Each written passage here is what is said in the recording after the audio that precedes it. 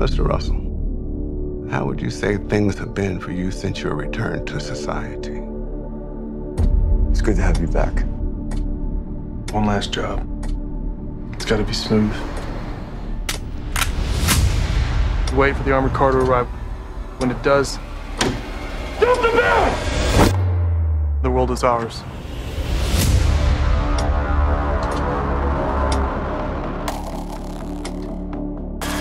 Give him clean cash from the back. See that? Weapons training. Maybe Motor. I'm gonna get him. I just got something. It's a bank job. $600,000 for one day's work. Not too bad, right? We stick with the plan.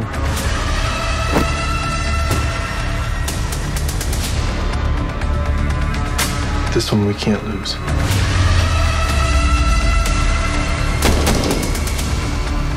Everybody get down! It ain't going down like that, son. This is my show. If you want in, you're in.